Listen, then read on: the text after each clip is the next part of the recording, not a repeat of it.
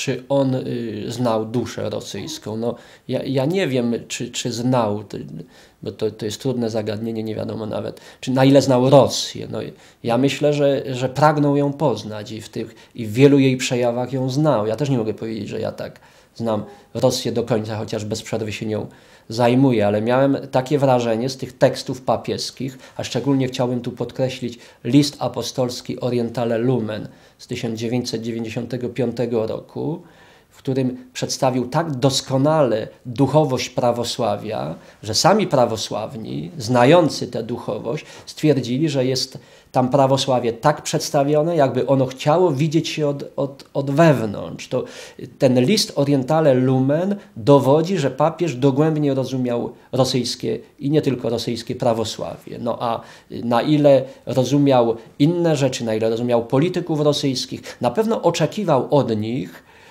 takiego jakby to, na przykład od Putina, który, który był u Jana Pawła II jakoś w tym okresie, kiedy ja miałem szczęście mieć tę rozmowę, to było nieco wcześniej. I pamiętam, że Putin kiedyś powiedział po tym spotkaniu, że on nie zaprosił papieża do Rosji inaczej niż kiedyś Gorbaczow czy Jelcyn, tam ci zapraszali, bo przecież papież oczekuje zaproszenia od przywódcy religijnego i tak by do Rosji nie przyjechał na zaproszenie polityka. A otóż Jan Paweł II, nawet jeżeli nie mógł odpowiedzieć pozytywnie na takie zaproszenie, to bardzo by je sobie cenił, bo podczas tej rozmowy pamiętam, że powiedział, coś takiego. Był tu Putin niedawno, obiecywał, że zaprosi, a nie zaprosił. I w tej wypowiedzi papieża, tak słychać, było y, dosyć spore rozczarowanie.